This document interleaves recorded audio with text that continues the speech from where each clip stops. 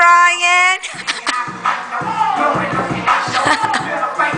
Pop, do the Tinkerbell. Do the Tinkerbell now.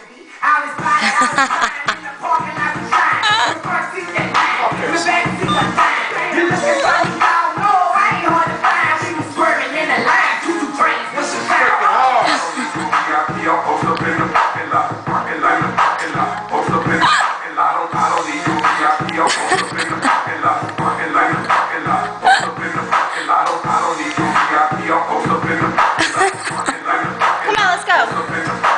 That's good, right?